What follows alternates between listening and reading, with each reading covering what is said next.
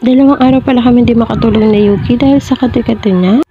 Hindi ko nga alam kung ano to, kung kan ba kagat ng langgam o ng iba pang mga insekto.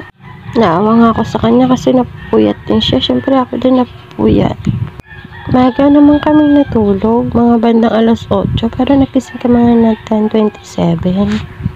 Nilagyan ko na nga yun ng pulpo at saka ng petron jelly, kaso hindi pa rin siya nawawala, kaya naman nag-decide na ako, lumabas na ako, kumuha na ako ng suka. Ganito lang pala yung ginagawa ko, para mo lang siya ipapahin na lotion. Naalala ko kasi nung bata pa kami, or nung yung mga tita-tito ko doon sa Tarlac, kapag may ganyan yung mga baby ay ginagawa na daw talaga nila ito.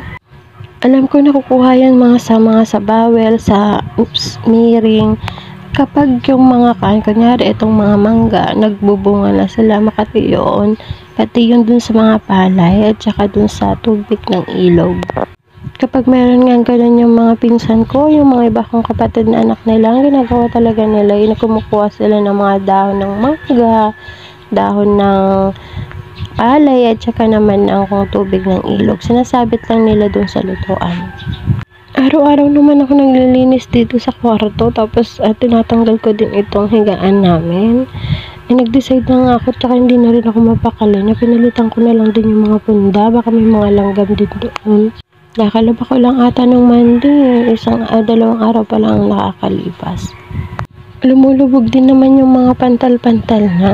Sakto naman mga Wednesday ng gabi dumating sila daddy. Ito naman yung pangatlong araw na Yuki kaso okay na siya, wala naman na. Nung nagpalit ako ng punta, ito panghala yung mga nakita kong insekto. Meron din palang gumagapang na langgam. Maganda talaga. Dapat yung mga bedsheet natin na malilinaw para nakikita natin yung mga gumagapang na kung anong insekto. Dalawa nga lang din electric pa ng gamit namin. Kaya minsan nakala ko naiinitan lang siya kaya hindi siya makatulog. Mga bandang alas 11, nakatulog na siya at nakaidlip naman ako. Pero nagising ako ng mga 1.30. Nagtimpla na rin ako ng gatas niya kasi nga paikot-ikot na rin siya. Kapag kasi paikot-ikot siya, yung parang gusto niya na magdede, kaya naman tinimplahan ko na lang talaga siya agad. O kaya naman gusto niya minsan umihi.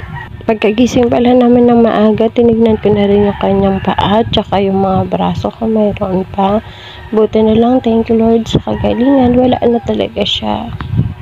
Nung kinaumagahan nga, pagtapos ko magkape, inisip ko na talagang kumuha ng mga dahon para maisabit dun sa lutuan. Ito nga palang isang mangga na mumunga na, yung isa naman namumulaklak. Naalala ko kasi habang nagwawalis si Lola, naglalaro siya doon. Naisip ko nga rin dahilan, baka naman dun sa mga manok. Kasi minsan may mga katikati din doon, mga ibsang. O kaya naman sa mga lupa na may mga langgam. Sobrang sensitive yung balat ni baby naman na ata niya sa daddy niya. Kami naman hindi eh.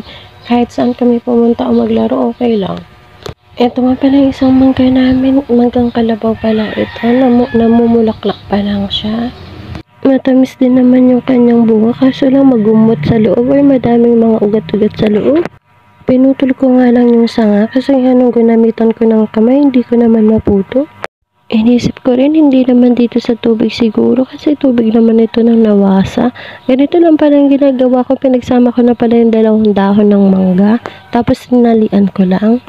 Kapag natalian ko na ng maayos at nabuhol ko na ng maayos, saka ko naman isasabit dito sa lutuan para mausukan siya. Kailangan kasi yung mga dahon niya parang magkulay dilaw. Kaya kailangan yung parang nakakon na siya, nahihinog na siya. O yung kumbaga yung parang uh, na kulay itim. Kapag pala hinog na siya, pwede na natin siyang tanggalin o pwede na natin siyang itapon. Siguro mga ilang araw pa natin isasabit dyan. Hayaan lang natin na nandiyan siya. Ganito pala itsura niya pag nakasabit. Nung nailagay ko na nga siya, pwede na ako magsaing or magluto dyan.